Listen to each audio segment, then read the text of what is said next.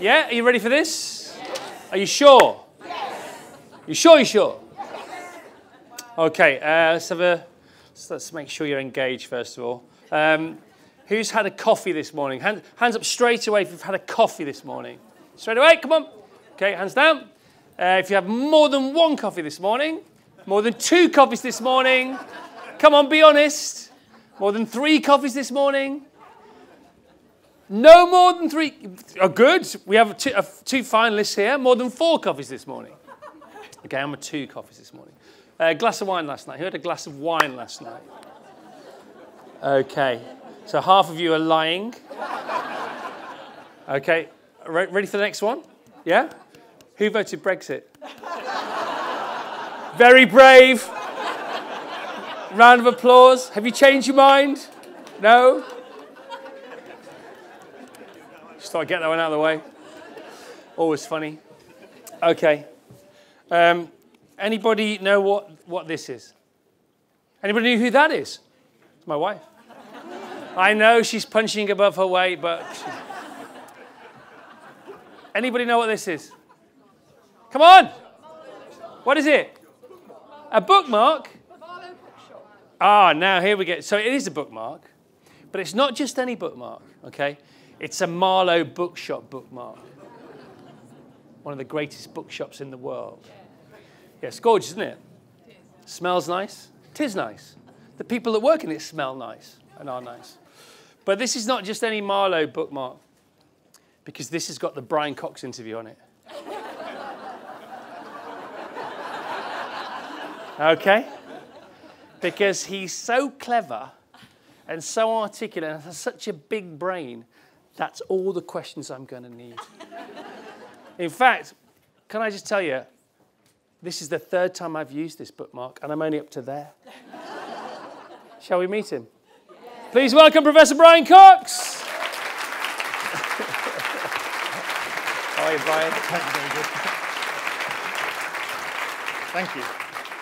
So, I might not need this, but if I do, can you just. Okay. Don't steal any of my questions.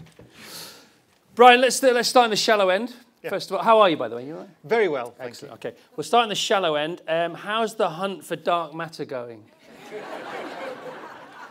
Would you like me to explain what it is? Yeah, I think first? so, because it's quite important, isn't it, dark matter? It, it is. I mean, we, so we have a, a theory of Einstein's theory of general relativity, which is interesting in itself because it, it started 1905-ish as the special theory of relativity, a theory of space and time, which is an unusual thing to say. You might say, why do we need a theory of space and time? And we can perhaps talk about that. I have to get to your question. it then became... See what I mean? I, I see you later. Have a lovely festival. It, it then became a theory of gravity in 1915, which is the general theory of relativity, and subsequently became a theory of cosmology, which is a theory of the evolution of the universe, large-scale structure and evolution of the universe. So that theory allows us to uh, essentially look out into the universe, look, see how things move, and indeed how the universe behaves, so whether it's expanding or contracting, and that allows us to infer how much stuff is in the universe. I mean, what, what the theory actually does is, on a cosmological scale, is to say, you tell me what, what the contents of the universe are, and I will tell you how the universe behaves, if it's going to expand or contract or what it's doing. And so by measuring how it's behaving, we can infer what's in it, which is the flip side of that.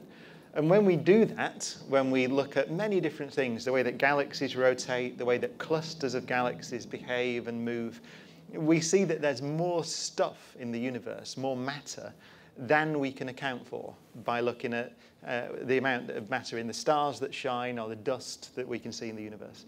So the, the inferences from those measurements that there is a kind of particle out there, a constituent of matter, which we have not yet discovered. So we don't know the nature of it. It's not this stuff, the stuff out of which we and all the stars and planets and galaxies are made. It's something else. And it doesn't interact with light, otherwise we would see it. So that's why we call it dark matter. So it's something that we infer the presence of. And I should say there's uh, current measurements, multiple measurements tell us there's probably five times as much of that as there is of this. So when you look at the stars, you know, Milky Way galaxy, 200 billion stars, lots of gas and dust there. Two trillion galaxies in the observable universe. I mean, think of that number, two trillion things the size of the Milky Way. That, that, there's five times more stuff than that, right? Which is so that's what we call dark matter. And to answer your question, um, so we infer its existence. So we're looking for it. We're looking for whatever new kind of particle we're pretty sure it is. We're looking. So, for example, at the LHC at CERN, um, we thought probably by now, running the Large Hadron Collider, that we would have made this kind of matter. Um, but we haven't seen it. So, so it's one of the great puzzles. It, it's, uh, uh, it's possible that we're wrong. Right? It's possible that Einstein's theory is getting it wrong somehow or there's some other explanation. But we do think that it's most likely there's something else, which is kind of fascinating, isn't it? A, a new building block of matter that behaves in a different way. but people today, scientists today, this morning, so some people are fishing in the Thames, yeah? yeah. Some people are tending their allotments. We're all here.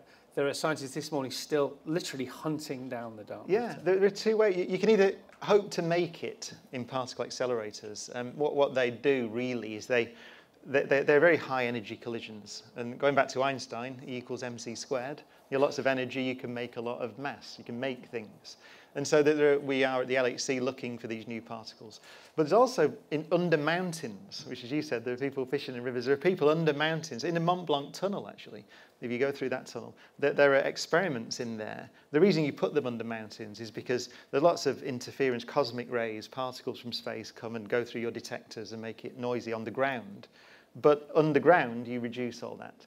And what they're looking for is the very rare occasion when these, these particles, which we're swimming in, if this is right, we're in a sea of these things now, an ocean of them, but they interact very, very weakly with this stuff, with us, very weakly. So the idea is that occasionally one of these heavy things would bump into the detector under the mountain, and you would see that collision. So you'd see, so that's what's called direct detection. So yeah, there are people looking. And we're only looking, looking, for, for one years. little, what the first sign of evidence, which is minute, really but it's there's so much of it, you know, collectively, if it exists at all. Yeah. But we've, we can't find a single trace of it, which is mad. It's, and recently, people are wobbling on this, aren't they? The, yeah. So if it isn't dark matter, the extra volume, what what might it be then? Well, as I say, it could be that. So the way we infer its existence is through our theory of gravity which tells us how things should move given an amount of stuff. So it could be that the theory of gravity is not right. It could, it could be.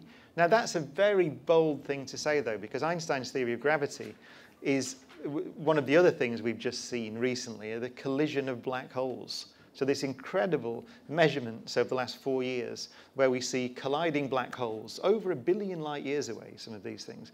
And, and you see this violent uh, ripple in the fabric of the universe that goes out. I'll just give one example. The, the, the, the, black holes that we're seeing collide are of order 30 times the mass of the sun each, right? So these things, which have collapsed down to a single point as far as we know, so unimaginably violent. And we see these things, that they spiral around each other. And they, that means they shake the fabric of the universe itself. And they, so they lose energy and they spiral in and they collide. And uh, the collision, one of the first collision we saw, these two things, 30 times the mass of the sun, at one moment they were approaching each other, spiraling in at one third the speed of light, which is very fast. You know, light travels at 186,000 miles a second, or 300,000 kilometres per second. It's miles for the Brexit voters and kilometres for six of you there. Um, and, um, sorry. And uh, so, so uh, and then within one tenth of a second, yeah. they'd accelerated to two thirds the speed of light. Imagine that accelerate. I mean, you're yeah. a car person. Imagine going from one third to two thirds the speed of light in a tenth of a second. A tenth of a second later, they collided. And in that collision, the amount of energy released exceeded the total energy of all the stars in the universe in two trillion galaxies by a factor of 50. Right? So this is a hell of a bang. And what happens is the ripples go out, and we detect them uh, a, a billion years after the collision because they've come across the universe. And we, we, the, the prediction of how space rippled in our detectors was exactly that predicted by Einstein's theory that came out of his head essentially in 1915 when he knew nothing of the existence of such things. So we're pretty, com- the theory's good. Uh, but it could, be, there's always that chance that it's not right. Glad you had those coffees now. how the hangover's feeling. This will wipe them away. So you got Einstein's theory of relativity and his theory of gravity. And because of the dark matter issue, he used to put things in when he wasn't sure about things. He used to uh, introduce something called the fudge factor, didn't he? Yeah, well, uh, he didn't call it the fudge factor, but I you're thought right. he did call it the fudge well, factor. Well, they call it a cosmological constant. It's a. Oh, oh. I'm going with fudge factor. It is. I don't give a fudge. You're Anyway. right, though, fudge factor. That, that was their. That again, it's an re- interesting story because I, I said just briefly this thing was a theory of gravity, which um, so the first thing he calculated was the orbit of Mercury around the Sun, uh, because there were slight discrepancies from the orbit predicted by Newton's laws, and people thought there might be another planet there and all sorts of things. But it turned out that Newton's laws were wrong, right? and, and, and Einstein managed to predict the orbit of Mercury. So that's a theory of gravity. But then about two years afterwards, he thought, if you can apply my theory to a solar system, then why can't you apply it to a universe? Which is a tremendous intellectual leap. And it's not obvious you can. Um, but the idea was that if you knew the matter distribution of the universe, so how matter is distributed, then you could stick that into his equations, and out would come the shape of the universe in space and time. So the history of the universe, past, present, and future. So that's that. He noticed that in principle his theory could do that. So he did it, and, and he, he made a very simple assumption, which is that on the average across the universe, matter is uniformly distributed. And if you do that, you can solve the equations and you get out the answer. The answer is that the universe doesn't, the fabric of the universe itself tends to stretch or shrink, always. It doesn't stay constant. So it's stretching or shrinking in response to all the stuff that's in it. And, and he didn't like that at all because he had a philosophical predisposition at the time for an eternal universe. So he, he'd had this physical intuition that nature should have always existed and should always exist. And so this idea that the universe is changing according to his theory really does open up the possibility that it began. Right, there's a moment of creation, is and he didn't like it. So he, he put the fudge factor in, as you say, and that's really what it is. So now you have It's- to call it fudge factor. It's, well, it's mathematically allowed, Okay. but it's, so, so it's not bizarre to put it in, but it's an extra term. In, and he tried to use it to balance this tendency of the universe in his theory to change. And you can't. It's like balancing a pen on the point of the pen, you know, a pencil or something. It doesn't, it falls over. So, so he, he abandoned it, and then he called it later the greatest blunder of his life. Um, but it's actually, it, it turns out it is there now. So, so it's, it was allowed mathematically, it is there. And we now call it dark energy, which is another thing, which is so the universe is accelerating in its expansion. But the point was he introduced it to avoid this conclusion that there may have been an origin. Because if you imagine, if the universe is stretching now, then you imagine in the past everything might have been closer together. And so there's this sense that everything may have been on top of each other. Um, and actually, just interestingly, a man called Georges Lemaitre, who's a great sort of hero of mine in many ways, interesting man, a Catholic priest as well as a mathematician and a physicist, um, took the, the, the prediction more seriously and began speaking in this poetic manner, actually, in terms of a day without a yesterday. And he'd started saying things to Einstein like, Your theory suggests there was a day without a yesterday. And Einstein, it's a very famous quote actually. Einstein said, Your, your uh, mathematics and physics are excellent, but your physical intuition is lousy. to him, because he thought this, his intuition was you can't have a day without a yesterday. You can't have a beginning. Of course, Lemaitre was a priest, so he's far more comfortable with this idea that um, there's an origin to the universe.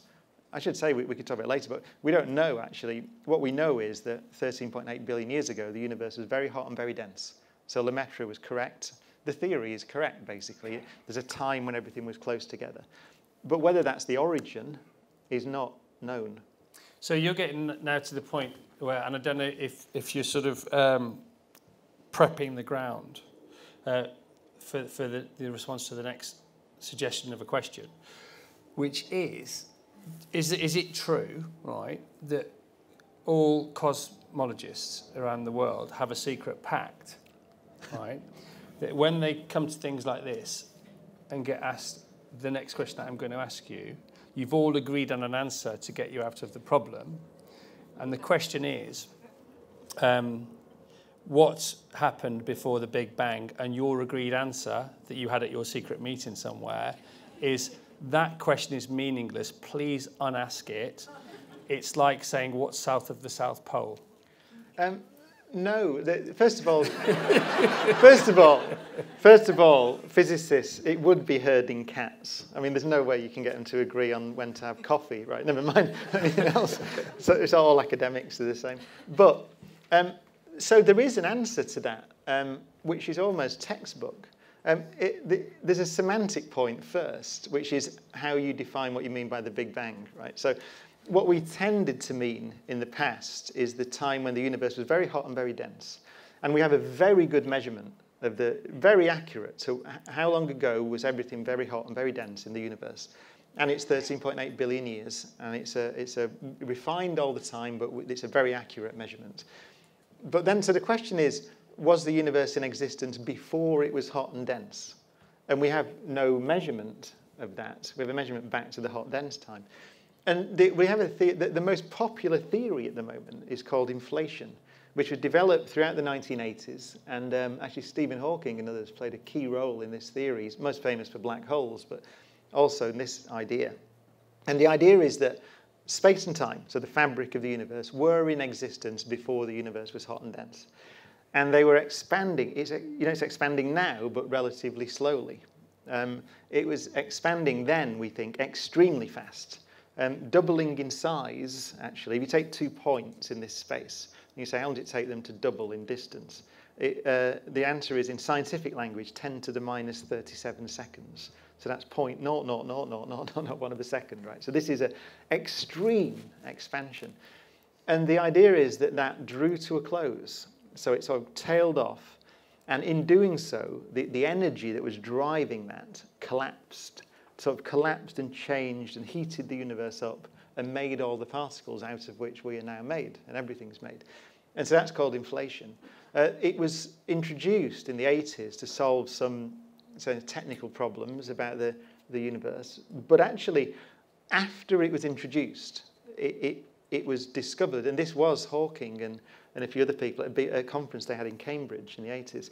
They discovered that you can calculate um, in this, this, this, this pre-existing universe. What happens when, when uh, quantum mechanics makes things fluctuate around and, and, and all this sort of stuff? And essentially, what pattern would you get written across the sky today if our whole visible universe, the observable universe, was seeded in this kind of event, right? The end of inflation and the Big Bang and so on. And, and they get the answer right, which was not part of the theory. So it literally, it predicts the distribution of galaxies on the sky. So we, we observe where the galaxies are, how far away they are, what the pattern they make is. And there is actually a characteristic pattern in them. And incredibly, the characteristic pattern is the pattern of the subatomic world. And so the idea really is that, that our whole observable universe, which had two trillion galaxies, um, could have begun in this little patch of space and time way back there, which was much smaller than an atom, um, and this patch expanded to all this stuff.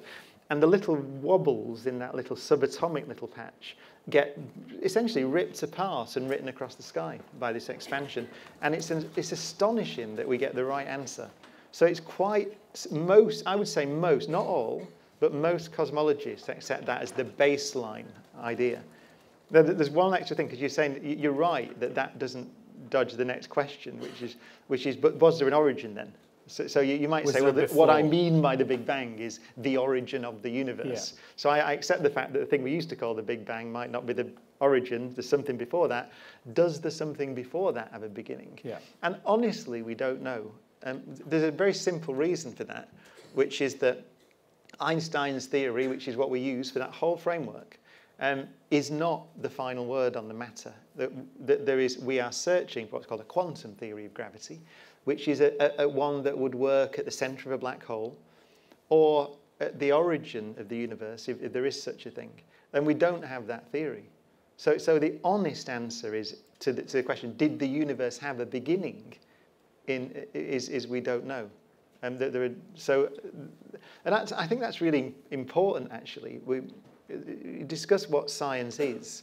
There's um, it, Richard Feynman, the great Nobel Prize winning uh, physicist, said once that he defines science as a satisfactory philosophy of ignorance, which is a beautiful definition, because he says that there's a great, I can't remember the quote exactly, but he says, uh, he says, What is the meaning of it all? He's got this beautiful essay called The Value of Science. And he says, What is the meaning of it all?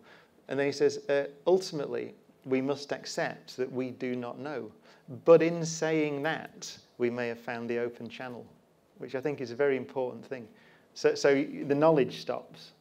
So I can't answer the question. Is the basic point.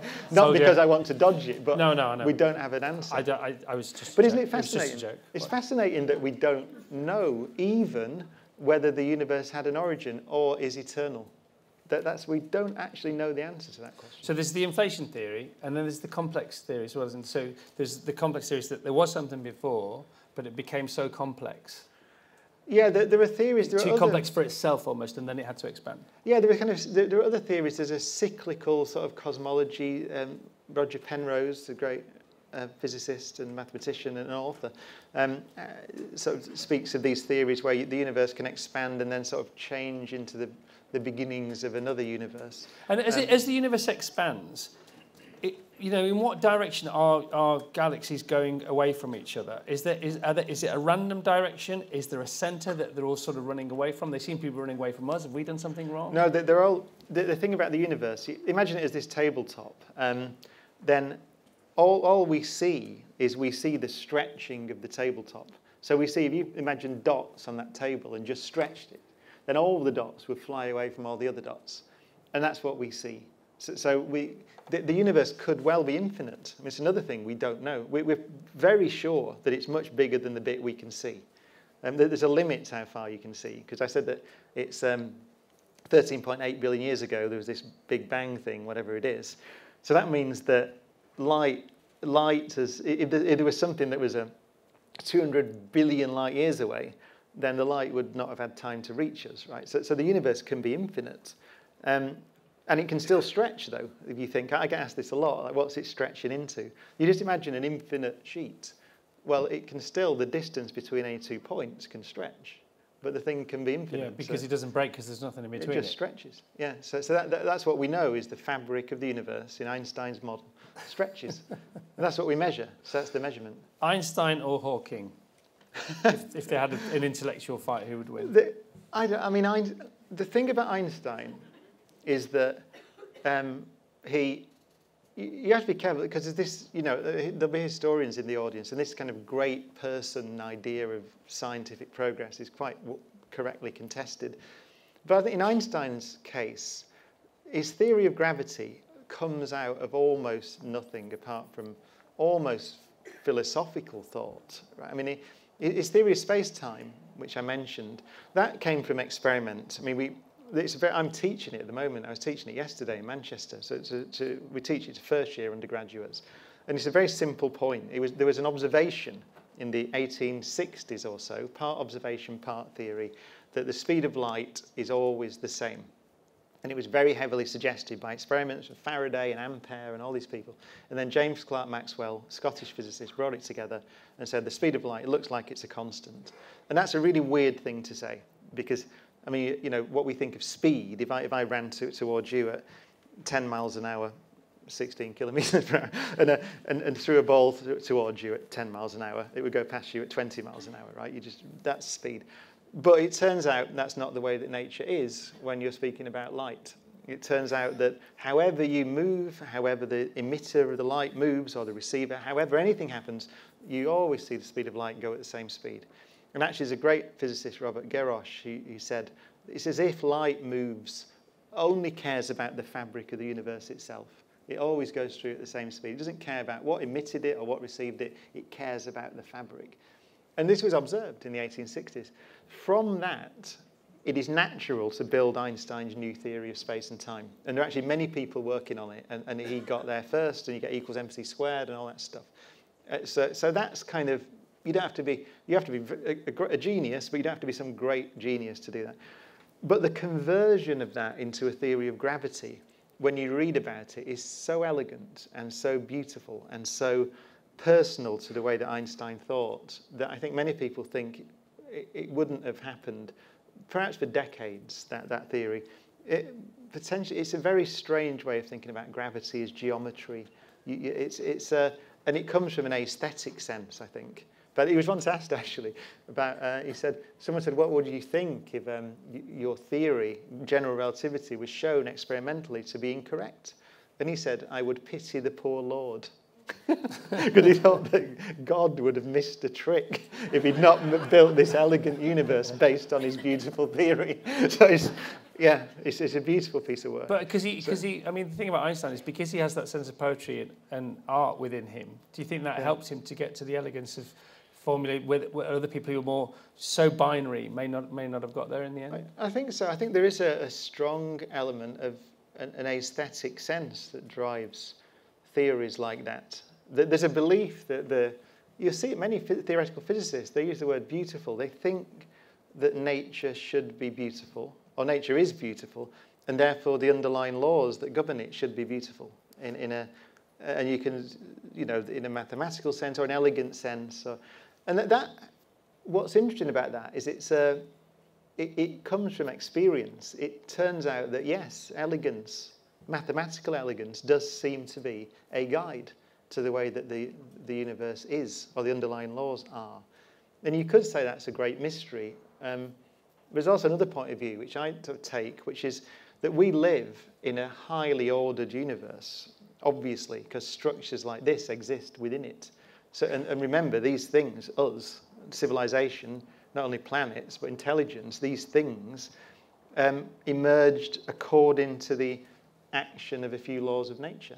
And so you, you need a, a predictable, elegant structure in order to produce elegant structures, I think. And so we, we're, it, it's not a surprise, I think, that we see um, a logical structure under, underlying nature, because nature is highly structured. The, pro- the product of it is highly structured. Let's talk about nature. Let's talk about the weather, shall Yeah. we? We're in England. We're, we're in the UK. We're British. Let's talk about the weather. Um, what's going on? Uh, Well, I'd say it's about to rain.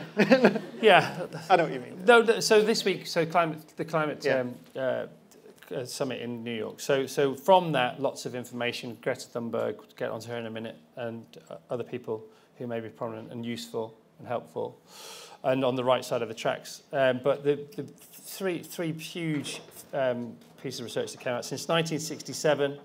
It was announced this week. Since 1967, um, we've lost a million square miles of the Arctic. We're losing currently 650 billion cubic tons of ice per year. And sea levels are rising by four millimetres per year now. Uh, within tens of years, that will be centimetres, and within 100 years, that will be metres per year. Hmm. Um, weather is becoming more extreme, obviously getting warmer, therefore it'll get wetter.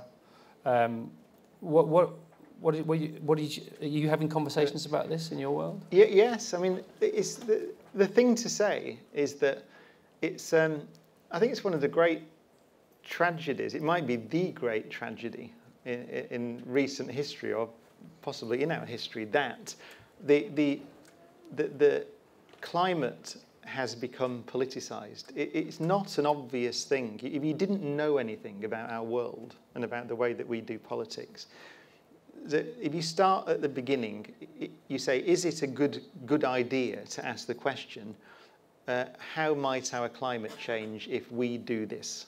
Or if we observe that the climate is changing, which is, I should define what climate is, it's what's called, it's a probability of weather. So it's actually a, an ex-PhD student of mine um, is now a climate scientist, and, and she always says that uh, it's, what you have to understand is it's, weather is like, in some sense, predicting a single coin toss, right? It's quite hard. But predicting the outcome of a thousand coin tosses is quite is easier. And so actually long-term climate is easier to predict than short-term weather because it's the probability of weather. Um, so you, you start with a simple question, which is we observe, we, we've got all these satellites measuring all these things, data sets for decades, if not hundreds of years. We, we see how it changes. We ask the question, do we understand why it's changing? And if so, are we having an impact on it? So it's a simple question. And it turns out that we, we are, and we, we have the capability in a, in a broad sense with some accuracy to understand that. So we have very sophisticated computer models. They do quite well, and we get a range of predictions about what may happen in the future given what's happening now. So that's just science. That's how you do science. Um, the problem is that it turns out that we have a very strong indication that some of the ways we behave are affecting the climate. That's our best scientific view, right? So it's just it's models and measurements and so on. And so then the politics enters, I suppose, because unfortunately, the, the thing that's changing the climate is, is a thing that a lot of us like to do, right? So flying around in planes or using, using energy is, a thing that we all enjoy. And that's where the politics comes in. Um, so, but I, and this is, many scientists have different views of how to deal with this. I, I liked, which is quite naive in a way, but I like to try at least to separate the, what we know and what comes out of the models from the policy responses to it. The policy responses are the thing that I think are controversial. Problem, of course, the reason that's a naive statement, though, is that, of course, politicians are disingenuous. so if they want a particular policy outcome, they will look for the little bit of the foundation of our knowledge to, in, to attack that they can to try and change public perception. Uh, and so that's, that's the problem. It's a complicated, it's complicated, it's not complicated in a scientific sense. I mean, I, I don't mean, that. it is, it's very complicated science, but the, the science is broadly, we understand it. Um, but it's complicated in the way that we respond because the things that we're being told by the models are uncomfortable. Um, so that's what I would say. So, so Greta Thunberg said exactly this this week and has said it before. So what she said was, it's not about the science, it's not about the solutions, because the science is there and it's provided the solutions. It's about well, action. The solutions, it's a good question because then, so what are the solutions? There, there are different solutions. Um, so you could say, uh, on one extreme, reduce global energy use. I think that's not only not possible, but actually not desirable in, if you think about it. Um, you know, what are the numbers? Half the population live without clean water in the world. To get clean water, you need energy and so on. So the places that we live and the places that we would want to live with low infant mortality rates and so on are places that have high energy use. It's not, it's not a coincidence. They're linked, correlated. Um, but it's not energy use that's the problem, it's the way that we produce it. So a solution is to, yeah, it takes a while to go to change to renewables in power grids, for example. Um, I was in Ireland actually yesterday, the day before yesterday, where they were launching their new target of becoming 70% renewables on the grid by 2025. Very ambitious actually for Ireland. Um, and so initiatives like that can work. That's one solution, but it's quite hard. Um, and then you have big problems with things like aviation because you need to fly around. The global economy works through that.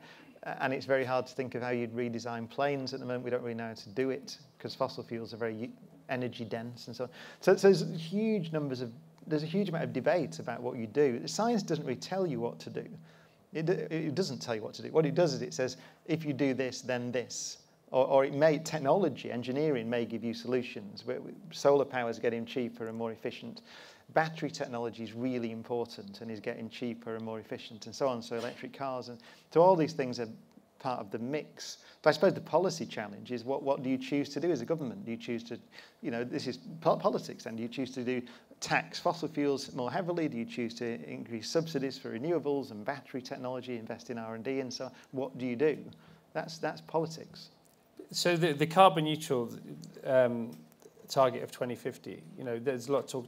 The, what politicians seem to do seem to be do, seem to do on a habitual basis, can't help themselves, almost addictive basis, is that they, when they have a problem, they they have a target date of perhaps trying to solve it, which is as far away from their particular reign yeah. as possible, but sort of a, a little bit optimistic enough to quell any uprising. Yeah. that seems to be 2050.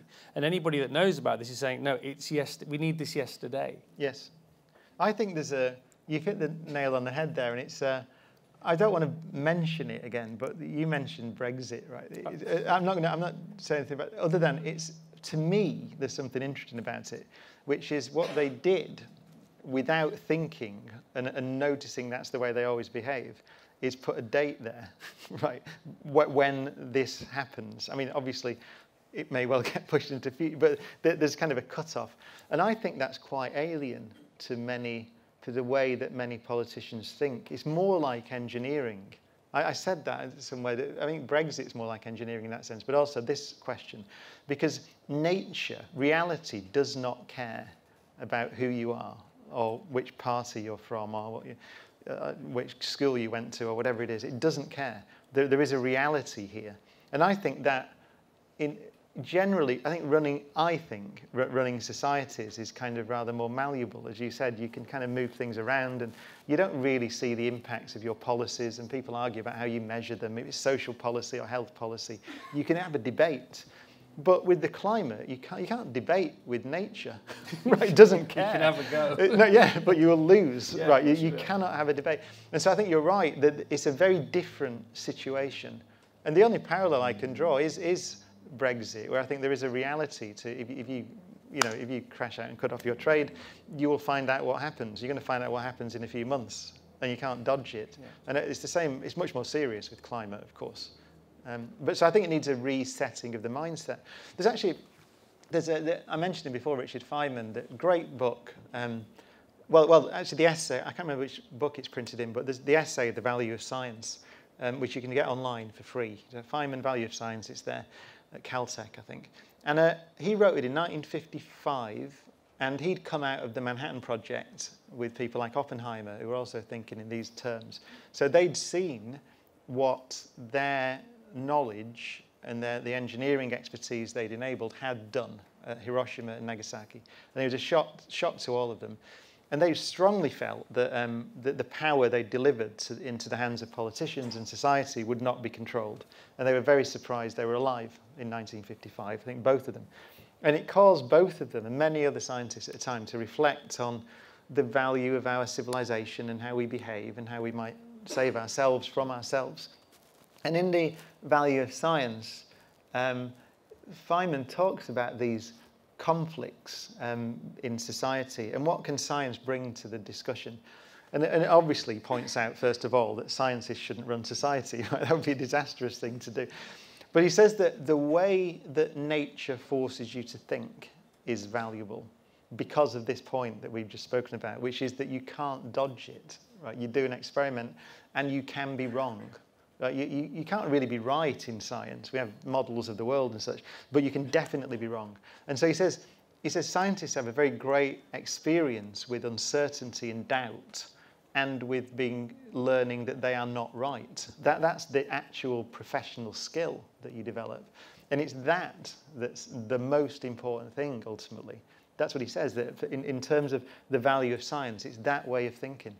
So I think that's why, if you go to some practical solutions to our current political problems, I think that teaching science in schools, and particularly experimental science, is should be absolutely compulsory and valued for this reason. That not because you learn about the science, but you learn about what it means to, to be shown that your opinion is worth absolutely nothing, right, in, in the face of nature. And that one lesson we can all think of examples of people who should learn that lesson, right, in public life. Yeah, yeah. But na- I mean, nature doesn't do time because we invented time. So, you know, clock time is a human construct. It's a human concept. Psychological time is a result of our own um, the way the way our brains works, the way the, the way we were made up. And when we abuse a concept that is otherwise useful, which is our abuse of time to put a target on climate change, for example, or Brexit, then it all begins to go wrong. And nature works with processes and cycles, doesn't it? Yeah, and what's, what's the thing that I once read or saw? I think it may have been another Einstein thing, where time is just an arrow. Well, again, uh, there's a lot of we don't knows in this fundamental physics. So we don't know what time is. Um, we, there's one thing to say, though. We, so this time's arrow tends to be spoken about in the context of the science of thermodynamics, which is a, a subject that came out of Victorian France and England, actually, that, that period, when trying to work out how steam engines work, actually, and, and trying to sort of make them more efficient. And you get this whole, um, this whole series of it, fundamental insights into nature from just trying to build better steam engines, essentially. And uh, what we found was that so we understand uh, why the world goes from order to disorder. It's a fundamental law called the second law of thermodynamics. And what we know, but we don't know why, but we know that the universe just after the Big Bang was extremely highly ordered. Right? It's, it's called low entropy in the jargon, but it's extremely ordered.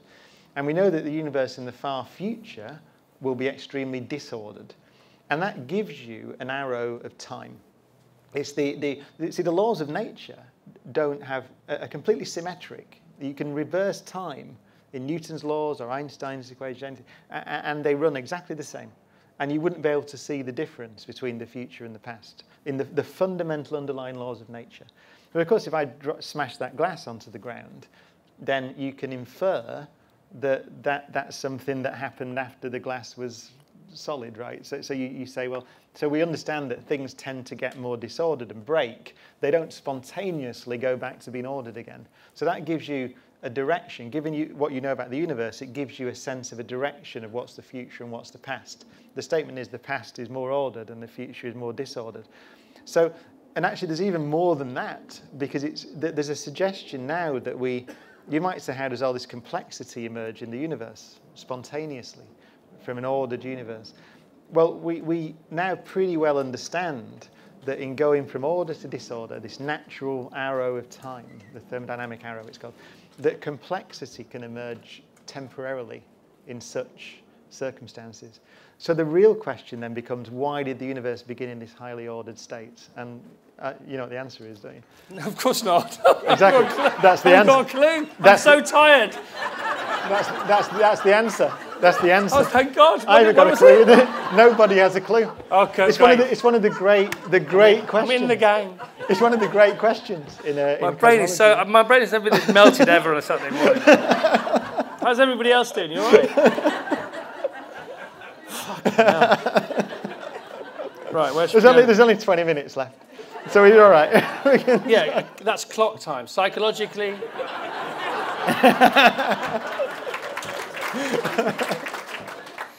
right. So, I mean, we, have touched on the end of the world. Well, we haven't yeah. because climate change isn't. You know, I, I, we get lots of this on the show. People saying, you know, we've got to save the planet. The planet's going to be fine. We're just going to be extinct. Well, oh, hang on a sec. Yeah. Okay. Brian, it's not easy for me. This you do it every day. so we're in the middle of a sixth cycle of mass extinction now, mm. right? So up to 200 species per day of organisms on the planet are becoming extinct, mm. which is a, between 1,000 and 10,000 times more than the usual mean of the last couple of thousand, mm. tens of thousands of years. So, but we're in the middle of that now. So we may become extinct ourselves, okay? But the planet will still be here. Now, there's a lovely theory that I heard, and you don't have to respond to this. You're very welcome to, of course. You're Brian Cox, for heaven's sake. But I if, will respond. If, thank you. If we, if we get a fever, you know, our body heats up to kill off whatever it is that's bothering us. You know, there is a theory, it's quite a beautiful theory, that we are the, we are the latest parasites on the organism that's the planet, and it's heating itself up to kill us off. But the planet itself will outlast us, one way or another, as it's outlasted the dinosaurs or whatever. But of course, one day our planet too will burn up and it'll, it won't exist anymore. But that's however many billions of years. Five billion, yeah. Five, five billion-ish, give or take a billion. Uh, but there is another theory that you've touched upon before about the fact that we're, you know, we are, we are continuously looking for the potential of life on other planets and moisture and water, and that's the beginning. But there, there is another side to that. Again, let's look at that's the arrow going forward. Um, but there's another theory that in the past, other planets like ours have existed, and we're not the first, and we could learn more from maybe thinking about that than thinking about the future. Yeah, I think the the the key point for me, because you hear it a lot, and, and I see it a lot, where people say, you know, well, you know, the planet will be all right, and the ecosystem will be all right. So it doesn't matter if, if we go, as you said, we're some pathogen or something. Uh, I profoundly disagree with that way of thinking. Uh, for not just because you know we're, we're self-interested, but um, if th there is a strong argument to be made. Um, if, if you ask the question, how many civilizations are there in a galaxy, a typical galaxy like the Milky Way? So 200 billion stars. We think that most of them have planets around them. We've discovered well over 3,000 planets around distant stars. So we can do statistics. And so we think there are probably 20, something like 20 billion potentially Earth-like planets in the Milky Way galaxy, um, which are rocky planets and they may have oceans and so on. So there are plenty of places where life could exist, even in the solar system, actually. On Mars, it could have existed in the past, at least. But so, you, so it looks like there's lots of stuff out there in the galaxy, life. But if you look at the history of life on Earth, which is the only measurement we can make, because we haven't detected life anywhere else, then it's a statement of fact that it took four billion years on this planet to go from the origin of life to now. And our civilization exists, you know, now basically, 10,000 years or something, so now. Four billion years is one third of the age of the universe. And uh, from what we know about the conditions in the galaxy and the way that solar systems behave and the way that stars behave, it may be that there are very few places in the galaxy that have been stable on that kind of timescale. It's quite astonishing, actually, given what we know about astronomy and the way that solar systems evolve and stars evolve, that the Earth has remained habitable for four billion years. It's almost inconceivable. And that leads many biologists and astronomers who think about this in detail to suggest there is, it is possible that this is the only place in the Milky Way galaxy currently where a civilization exists. It is possible, it is conceivable. And so that means that if you think about it, so we go to the deeper question. We, you know, as I said, Feynman asked that question, what is the meaning of it all in his essay? So what is meaning? Right, well, here we go, we've got 16 minutes left. So I think whatever meaning is, it is a property of life and a property of intelligence, I would argue. Now, you know, we have like, we know uh, Bishop Nick Baines, for example, is a mutual friend. Yeah. He might uh, disagree with that. He might say meaning is global and there's some uh, God type thing. And that. But I would argue that meaning is a property of living things. And so if it's true that intelligence only exists on this planet currently, in, a, in this galaxy at the moment, then I would argue this is the only place where meaning exists because there's no intelligence anywhere else in our, at least in the Milky Way galaxy. That makes us, as the, the intelligent species on this planet, uh, extremely valuable in, in a, I think in a very direct sense. Because we, we, we I mean, let's put it more poetically, this might be the only island of meaning in a meaningless sea of 200 billion stars. That's what that logic leads you to. So the idea that you can say, well, it's all right for the planet, there are billions of planets. It doesn't matter. that You could blow the planet up. All you care about is planets. There are tens of, hundreds of billions of them. But there might be only one where anything thinks in this neighborhood. And so I think that puts a tremendous responsibility on us to sort these problems out. Climate, the politics that we have. How ridiculous would it be to, for us to have a, a, nuclear war, for example? I mean, this is what Feynman and Oppenheimer were thinking about in the 50s. You, you might wipe out all intelligence in a galaxy. Why? You know, because some idiot decides to press a button. Some, it's inconceivable. Somebody's so, unintelligent. So I think that we should proceed on that basis. We don't know. We, are always looking. Right? We, we have a, the SETI program. We're trying to listen for uh, radio signals out there. We're looking for other civilizations. We don't see any at the moment. We haven't looked too hard, though. So we, we, astronomers call it the Great Silence, which is a kind of ominous but correct title. It's, it's, it's, why is it silent? We don't know that and it's a long answer, I suppose, but we, we, we thought before we started listening, I spoke to a man called Frank, Frank Drake, who's a very famous astronomer who founded the SETI program, radio astronomer. And he thought in the 60s that all we had to do was turn the radio telescopes to, to the skies and we would hear them, all of them, because there are so many planets, there's been so much time. And he genuinely thought we'd be in a sea of radio waves, communications between civilizations. And uh, he was shocked that we heard nothing at all. It's absolute and silence. it might be that the absolute silence is down to the fact that there aren't any, right? And then put, put the, our behaviour in that context. And I think that's just, that comes from the science at the moment. It's, we don't know if there's anyone else out there. So the, the Feynman essay, you got you, you carry that around with you, don't you? It's in my bag actually. At the moment, yeah, because I was. How often do you read it? It's, it's a it's a beautiful thing. It's a I recommend it to everyone. I should have brought it with me actually. I could have read you the end. It's um, where he says, the end is, he says something like it's our responsibility as scientists to, to basically preach this idea that the freedom of thought, um, the, the fact that we don't know everything now.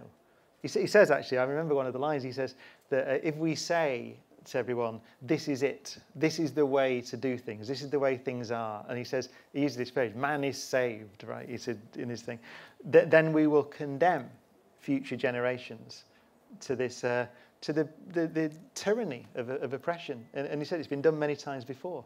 Right? The, the problems we have are from people saying, this is the way that it is. Yeah. This, is, this, is, this God did this, or this political system is the best one, and this is how you do things. That's the, the thing. And, and what science teaches you is that. So he said it's the duty of all scientists to pro proclaim the value of freedom of thought for the safety of future generations. They have things to find out. You have to leave knowledge. There's knowledge in the future that we don't have yet. That, that one statement, actually, think about that. There's knowledge in the future that we don't have. you say that to Donald Trump. The, the, the stuff that the future will know that you don't. It's true. How much, how much humour is there in quantum mechanics? Because the one... no, I'll tell, I'll tell you why I asked that. Because my biggest suspicion of Donald Trump, and there are many, but my biggest is that he, he never laughs. He never laughs, ever. No. Beware the person who never laughs. He just doesn't laugh at all. I've never seen him laugh. No. And I have a look next time. Every time you see him in the future, he doesn't laugh because he's entirely closed. He's never present. He's never in the moment. But then you, you've got a fantastic sense of humour. Einstein had a, had a legendary Yeah, sense funny. of humour. You know, Stephen Hawking, very, you're very funny, really sarcastic, really sort of dark. Yeah. Dark, you know, back to dark energy and dark matter. Wh- wh- Where's, where's, where's all the laughs in quantum, quantum mechanics, a- quantum physics? There's one actually, it's a real shame. Give us your best quantum physics joke. Three quantum physicists walked into a pub. Come on, there's got to be one.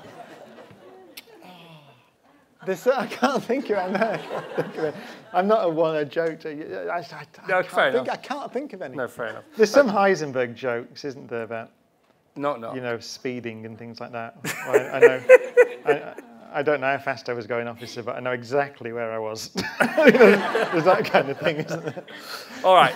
So you talked about you talked about beauty, and you, you know we look at things that you know equations or whatever it may be, and all the words and all the numbers and all the all the different um, signs and things in all your books. And I've had a look, and they, they, they you know Stephen Hawking's book um, is what less than 200 pages. You know, The but Brief History of Time, yeah. the famous Have you, have- who's read Brief History of Time? Okay. Who's bought it? Right. I'm in the board. I try to read it. It's so difficult. But you must find quantum mechanics so beautiful because if you don't find it beautiful, you can't navigate it. So you must find, you know, cosmos order. That's what it is, isn't it? The cosmos. That's what it means. It means order. And so you've got your, you've got your four, four little mates, and you've got your Fab Four in quantum mechanics. You've got atoms, nuclei, photons, and quarks. Which is your favourite? So the qu- quarks. So the, the idea is they're, they're I the like quarks. Just I just like quarks. quarks. They're, they're the fundamental building blocks um, as we, as far as we know. They, they probably aren't, but they, as far as we know, they are. So, so you need uh, two up quarks and a down quark to make a proton, and two downs and an up to make a neutron. And out of those, you can make all the chemical elements and so on. So you'd have to go for the most basic building block. It's amazing. You only need two things, right? Up quarks and down quarks, and you can build us. So that's all we are, and the electron that goes around. So we're, we're three things. That, that's, that's it. And it's just a, a temporary pattern. So, so you, you're a temporary pattern of up quarks, down quarks, and electrons. Cool. And, but it's a cool, it is a cool I'm more than that at the moment, to be honest, mate, after the 52 minutes with you. So, so you've got your quirky quarks. By the way, I've not been drinking for ages. I've got a half marathon tomorrow. I'm going to get straight on it this afternoon. I think- um, I'm with you, actually. Are It's, you? it's sponsored by Veuve Clicquot, this, isn't it? We can Yeah. go and get, go and get all drink nice. Magnum afterwards. See what happens. So you've got your quirky quarks. Let's talk about particles, atoms, molecules, and cells then. So two particles get together, they form an atom. Two atoms get together, they form a molecule. molecule two molecules form a cell. Well, no, just to get combinations of them. So, so as I said, you need three quarks inside a proton and three inside a neutron. Two protons and two neutrons would be helium, and uh, you know, so on six protons, six neutrons would be carbon, and off you go. So you When, when two particles get together and form an atom, there's, there's certain constituents to that atom that aren't found in the two particles. So where, where, does, where does all the new stuff come from? in um, Well, you can make. You, in what sense? I, I don't understand. Well, so surely when two, two particles get together and form an atom. yeah. Right. Okay, so that's Lennon and McCartney come up with yesterday. That's what it is, isn't it?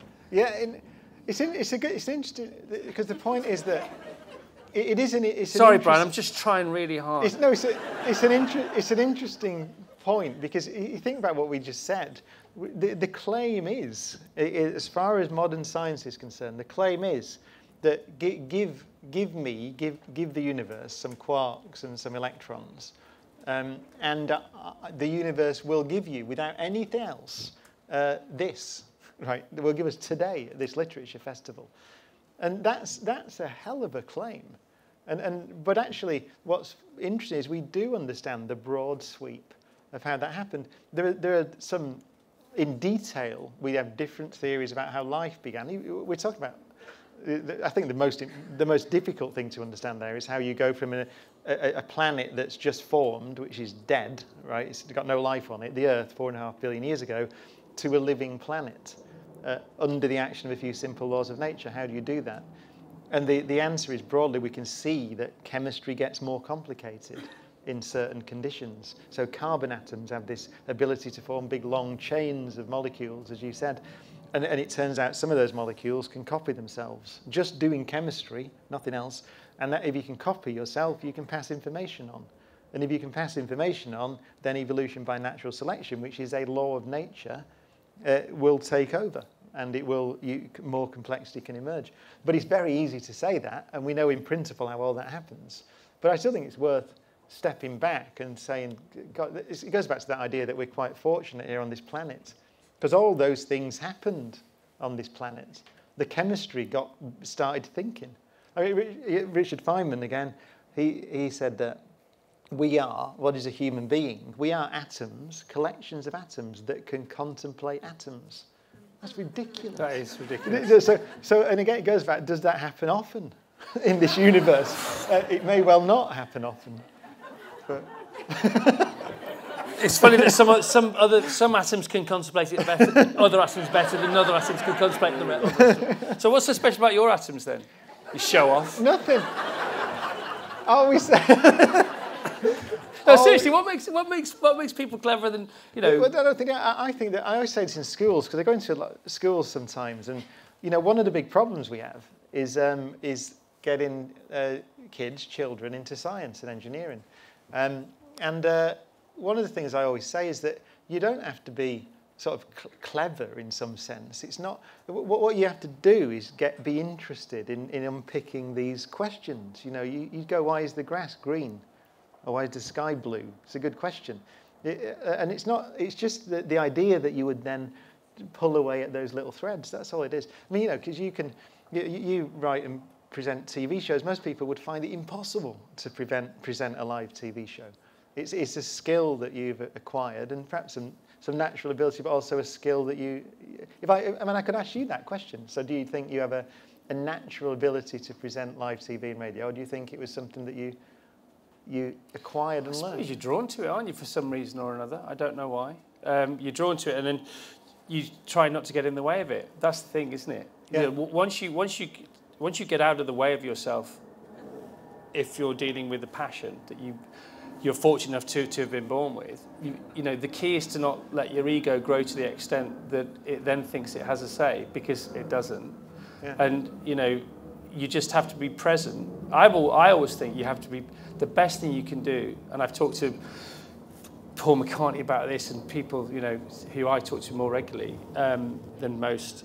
And, I, and I I about, about, you know, Paul McCartney wrote Let It Be and um, not the long and winding. Hey, he, he wrote Let It Be and Hey Jude in the same afternoon. yeah. Yeah. Now, what's that about? You know, you can't think of those two songs. They have to be available. They have to be around, and you have to be open and available to, to have them. I know it sounds a bit woo-woo, but Yeah. channel through you. I mean, that, that's A lot of that's musicians say that, don't they? That Yeah. the songs are there, yeah, and you. Is that trying to understand what consciousness is and what creativity is? consciousness. Because there's a, this whole thing about the fact that consciousness is, is is the universe. You know, the universe is, is a conscious thing, and at our best, we are conscious with it, and that's when we're totally present, and that's when we're formless and boundless. What do you think about that? I don't, I don't, I don't agree with that. I know people like Deepak Chopra and say things, these things, and I don't agree. I, I think that whatever consciousness is, and we don't know, but intelligence, it, it is a property of matter. I think it is a that we we are thinking now. It's very complex, but it's it, we, we are patterns of atoms. So actually, you start with matter. You start at the Big Bang with quarks and gluons and electrons and so on. And over those 13.8 billion years, given the laws of nature, this complexity like this has emerged in some places, maybe very few. So I think that that's why I said earlier that I think I, the, the, the only difference between myself and um, Nick Baines, for example, as I said, the Bishop of Liverpool, he's a good Leeds. Yeah, Leeds, now, Leeds. Yeah. Uh, he's a good friend of mine, a good friend of yours. The only difference is I think that meaning is temporary and local, and he thinks it is eternal and global. And those are the differences. But uh, so, so I think meaning emerges from patterns of atoms. Okay, but that's like, I think that in a way that's like somebody liking rock music and as a person liking, in, like in jazz music, because Nick is dead clever, you're dead clever. Yeah. And you just, you, you well, agree I don't think, going back to what you said though, I don't think, because when I asked you the question, you, you said it's opening yourself up to the passion, your passion, and allowing you to be, and you're getting your ego out of the way and allowing you to do those things. It's the same in science. It's, I think there's no difference between what you've chosen to do and what Paul McCartney chose to do and what scientists chose to do. It's all, I think it's all about how you that's a good thing you said, actually. You move yourself out of the way yeah, and let the ideas it's beautiful. come. Uh, when you do things like this that last about an hour, you're supposed to finish, you know, they say yeah, try and finish with the Big Bang, but we started with the Big Bang.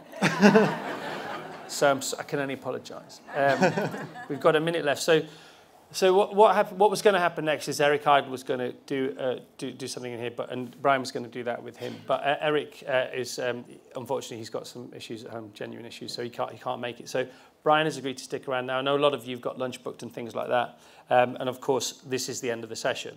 Uh, so please, you know, don't feel like, you know, you have to hang around. But if you want to, we are willing to do a, a, a talk encore, if you like.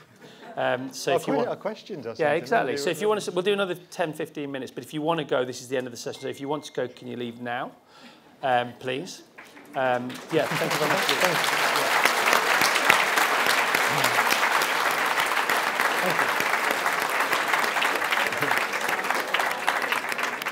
Yeah. One second. And by the way, if anybody's at the back and they want to stay, then there's obviously going to be some free seats. So let's just have a, a, a quick minute chivvy, and then we'll just start again. We'll do a, a quick 10 to 15 minutes. A quick, I don't even, a quick 10 to 15 minutes. No, yeah, 10 like to that, 15 yeah. minutes. okay.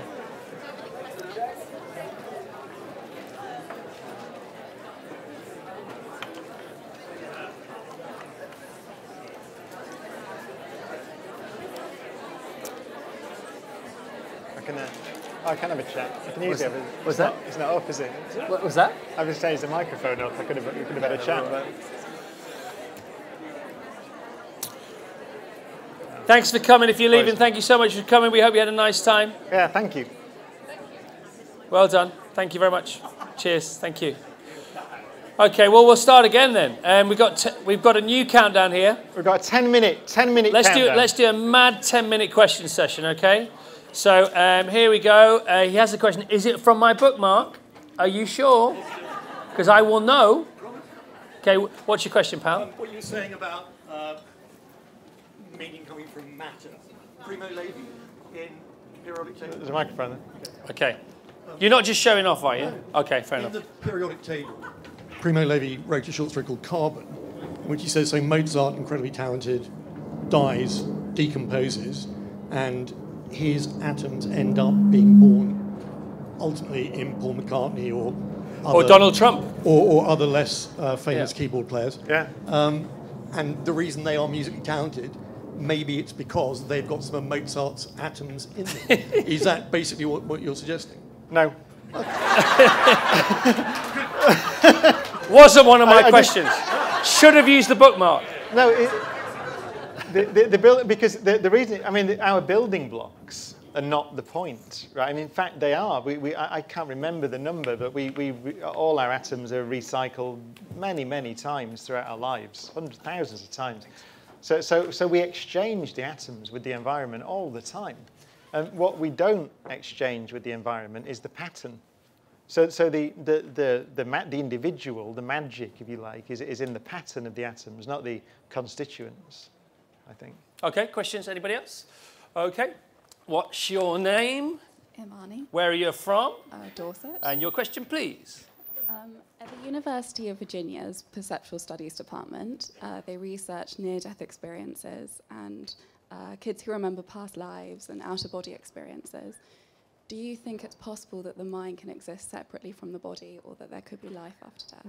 No, no I mean, as I said, I, I, I personally don't, um, because I, I think, I mean, if, if you just look at the, the, the physics of it, what, what we are, it's the same the last question in a sense, we're, we're information, right? Information has to be present somewhere. And uh, information needs um, a structure to, to be held and to persist. And it, so if you start talking about, um, it's interesting actually, if you talk, let's, let's call it a soul, for want of a better word, whatever this thing is that's not physical, but is a, what, is it? So you could start as a physicist, if you were given this idea, you, you say, you, you have some kind of essence that is you that is not contained within the matter that is you, it's something else. Then, so you, you start by saying, well, first of all, whatever it is, this, this energy source, whatever, it, it has to interact with the matter because presumably, if I have a, some soul that's separate from this, then if I do this and lift my hand up and move around, then it's doing it, right? So it's interacting somehow. So the first thing to say is whatever it is, it interacts with matter. And then, so then you say, well, what possible stuff could there be there that interacts with matter that we haven't yet discovered? Because it's something we haven't seen yet. And um, it turns out that actually the, the, the experiments we do at places like the LHC at CERN, what it really, we're really doing is, is trying to understand the interactions of matter. And it's incredibly precise. The, the, way that we understand how matter interacts is so constrained now that when we're trying to find things that we don't understand, because that's what we like, we want some new insight, and it turns out it's extremely restrictive. So, so what you could propose. We, we look for a fifth force of nature, for example, which would be something you're describing. It would be some kind of other interaction. And we, and we just don't see it. So it's not to say there isn't some other interaction, but it, it's very, very subtle. And so, so I would say, to me, it, it, it doesn't make any sense, knowing what I know, to postulate that there is something that interacts with our bodies but is other than our bodies, that is a part of nature we haven't yet observed. It, it would have to be a very, very subtle interaction, I, would say. Well, as I said, dark matter interacts gravitationally, so we've seen it. So we've See? seen the. uh, Okay, um, another question, please. Anyone? Go, Uh, Peter from London. Um, you mentioned about the uh, dark matter and the fact that there's uh, five times more of it than there is uh, regular matter. Uh, if we can't see it, how do you equate it? So we, we, we see it by, it, so it's a, it's a question of what do you mean by see. So we observe its presence by its gravitational interaction. So that's an interaction, so we see it. Um, it now, we don't see it with our eyes because it doesn't interact with light. So what we're postulating is there is a source of matter that doesn't interact with light, but interacts gravitationally. And actually, we know of that there are particles that do that. So there are particles called neutrinos that we have discovered, which do not interact with light, so-called electromagnetic force, but they, they only interact through the weak nuclear force, which is one of the other four forces of nature, and gravity. And so there are there are about 60 billion of those per centimetre squared per second passing through your head, right, from the sun. Um, so they come from nuclear reactions in the sun. And we can just about detect them because they interact very weakly with matter. So we have big detectors, and we detect a few, a handful per day in our big detectors, uh, or, or maybe a handful per week, let's say. So, so they're very hard to detect, but we can study them. And uh, so that's the, so, so it's, what, what you mean by see in a technical sense is do they, do they interact? How, how did you five times the amount? Oh, the five. Yeah. Um, so by the fact that so it's the same question as how do you weigh how do you weigh the sun, for example? And uh, the, the way you weigh the sun is to look at the orbits of planets around the sun. And um, if you know the distance and you know the, the, the orbits and so on, and you calculate the mass. So you do it through the theory of gravity. So, so essentially the idea is that because you know how gravity works, if you see something that's behaving in a particular way, you can infer how much mass there is. You can weigh it. And that's how we weigh a planet. Down. Well, let's do three more questions. Make it, uh, only put your hand up if you've got a great question, okay? you, sir, stand up, please, if you don't mind. Uh, hi, I'm Kit from Hampshire. Um, you talked a bit about scientific intuition earlier. When there are various interpretations of quantum theory, can we, um, is that the only way we can choose a particular one uh, out of the Copenhagen interpretation, the many worlds theory? Or are we going to aspire to find a, um, a real answer in the future? It's a, it's, it's a, a great question, just a, a one minute of, of background. So quantum mechanics is our theory of everything other than gravity. So, so Einstein's theory sort of sits aside. It's what's called a classical theory. Everything else is quantum mechanics. And it works, and it's, it's remarkable. I mean, you can't build transistors without it. You can't. So, so it's, it's our underlying theory of everything else. Um, but it has this issue with it, which is associated with what it means to measure something, essentially. Um, and and uh, the, the issue is, is bizarre in a physical theory, in a sense, or unsettling, because it requires an interpretation. So there's something in the theory that's not well defined. Um, and uh, so we, that leads to, as you said, different interpretations of it. And the answer is there's no commonly agreed interpretation of what quantum mechanics, put it this way, it's what does that theory mean for reality? What kind of reality is that theory describing? At face value, it is a very different kind of reality from the one we experience. So it's kind of unsettling in that sense. I mean, it really is, at its basic level, a reality, if you take it at face value, where everything that can possibly happen happens. Now, that's not what we experience. In the subatomic world, we see it. We see you, you have to calculate, if you want to calculate how a particle goes from A to B, you allow it to wander essentially in the maths, the entire universe on its journey from A to B. And when you add up all those different paths, you get the right answer for how likely is it to get to B from A, right? So it works. But the, but the question is, well, what do you mean this thing inhabits the, the entire entirety of space and time in, in some sense as a little particle? What does that mean for reality? And that's where the problem is. That, that's in an interpretational sense. We don't have an answer to that. So there are some people, which Feynman was one, I think, who embodied this idea. It's called the shut up and calculate school of physics, which is it doesn't matter what happens in the black box, you get the right answer, so who cares? But physics is physics is not like that. Physics is supposed to be, many people think, a description of reality. And then it becomes unsettling with quantum mechanics is what sort of reality is it that you're describing? And that's what you say. So uh, I don't know that, and, and this has been made very real, I should say now, by quantum computing. Because quantum computers exist and do work and in a very real sense perform multiple calculations in what you might almost call multiple different parts of reality at once. And out comes an answer which a classical computer could never do. Right? And, and so we're at the point now where this is a technology that works and appears to suggest that reality is far richer than the reality, the, the reality that we experience. So it's becoming a real issue. It's like, well, these damn things are going to be in our iPhones in 10 years. Right? How are they working? What, what are they actually doing? Right, let's have uh, two more questions. Uh, who's chomping at the bit? You, you look like you might be chomping at the bit. I should right. say it won't be 10. It won't be 10 years. It'll be 50 years before there's a quantum iPhone. I'm sure, but you never know. But anyway, it's a very political response. okay, go on. Off you go. Uh, I'm Emma. I'm from Australia. Uh, you talked about a few scientists and their essays that you found really inspiring. Mm. Um, and since we're at a literary festival, I want to know uh, what novels have given you that same level of excitement. What novels? I just, uh, I've got a really predictable answer, but it is honestly the, the last novel that I read over the summer. I went back to The Rings of Saturn, Sebald's novel, you know, which every, probably everybody's read. So it's probably not a good recommend. If you haven't read it, you should read it. And, and I thought it was a, it's the most beautiful um, depiction. It, it, it addresses this central question, which I think is the only interesting question, actually, uh, and that coming from a physicist perspective, which is, as I've just said, all through this hour, what, what, how do you make sense of living a meaningful life in a meaningless universe? That's what I think, actually. The, all we've spoken about is actually we're talking about that.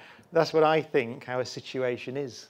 That's what, and that, that novel is a beautiful attempt, I think, to address the finite nature of existence and the fact that it is clear, as far as we understand cosmology, uh, the way that we think the universe is going to un- unfold, there will come a time in the universe when the meaning is gone, that structure goes. In this universe, as far as we know, the universe will expand forever.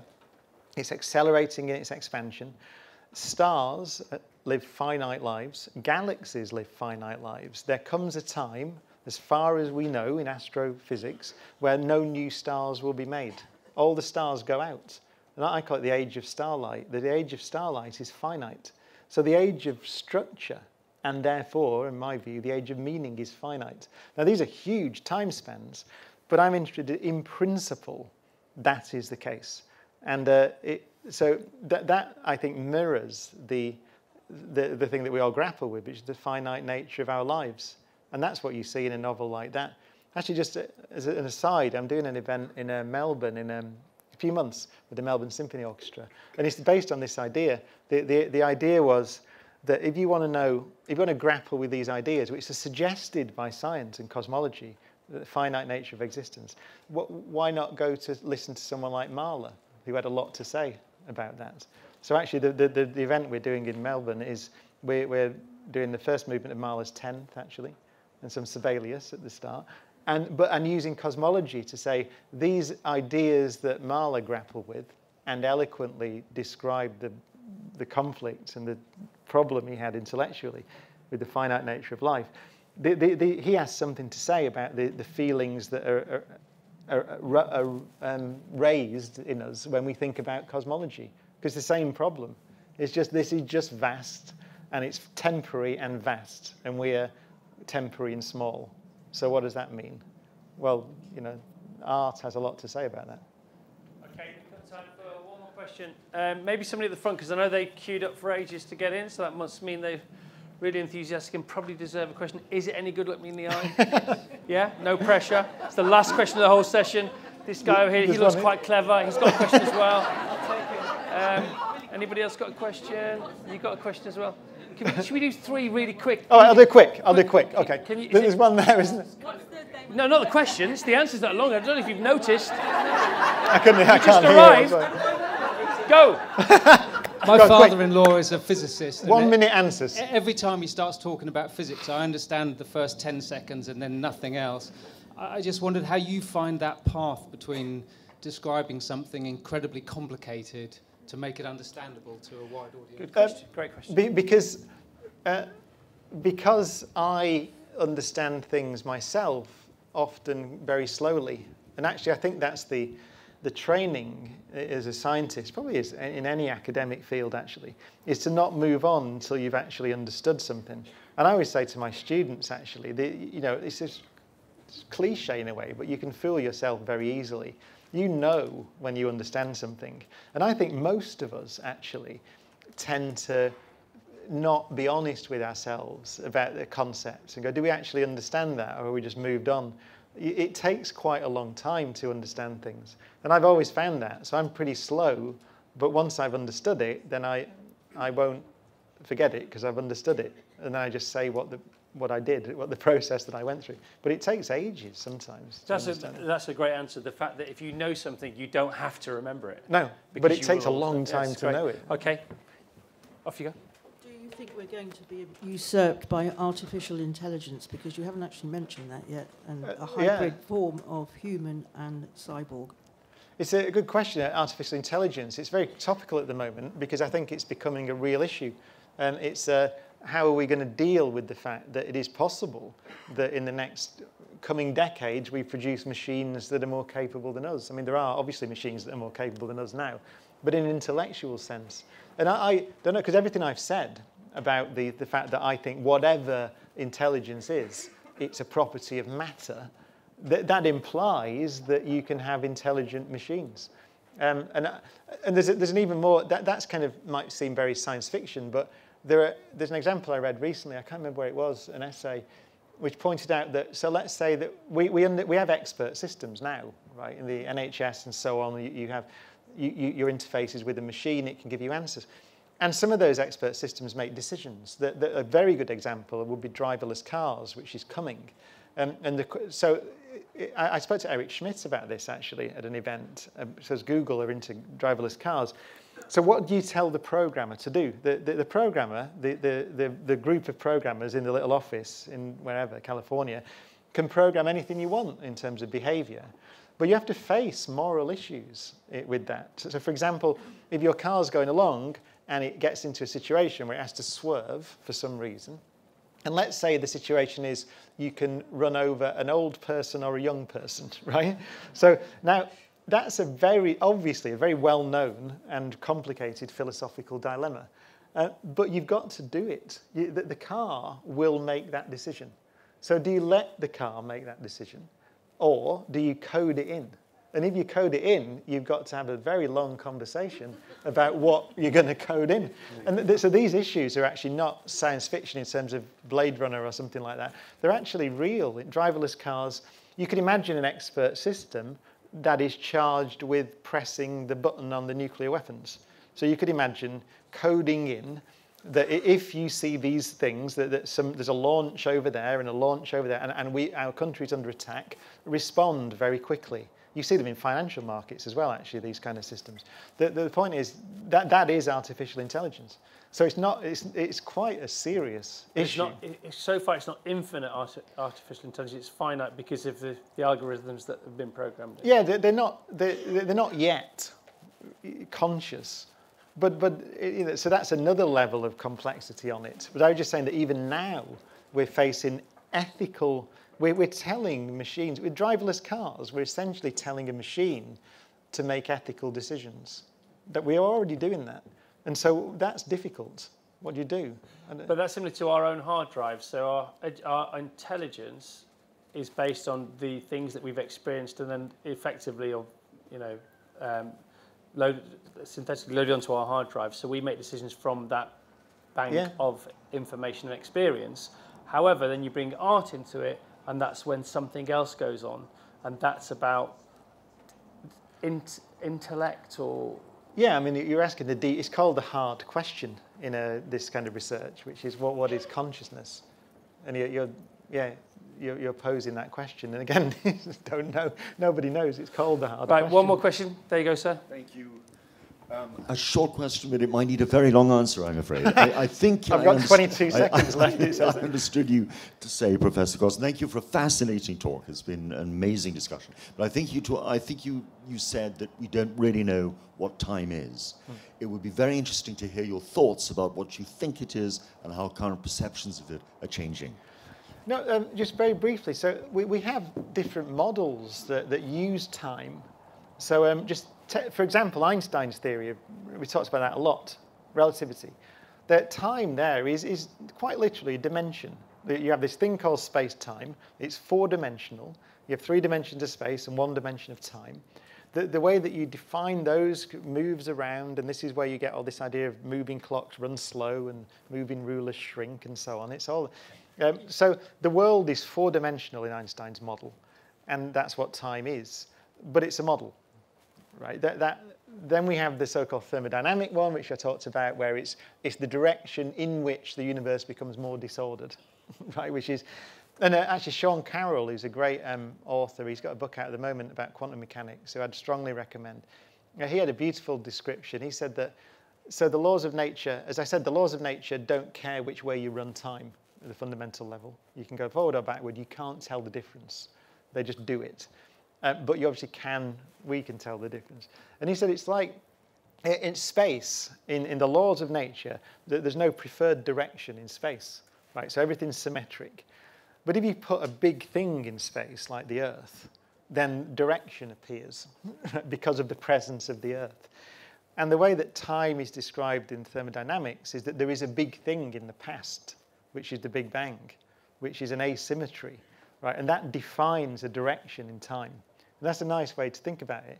But it still doesn't explain what, what, it, what when you say what it is, we, we honestly don't know. We, we, and that's why those descriptions are not satisfactory when, I, when, when physicists say them. They're not satisfactory because they are partial explanations of how our models incorporate time. But the actual fundamental of what it is is not known. Well, that's all we have time for. um, Brian Cox.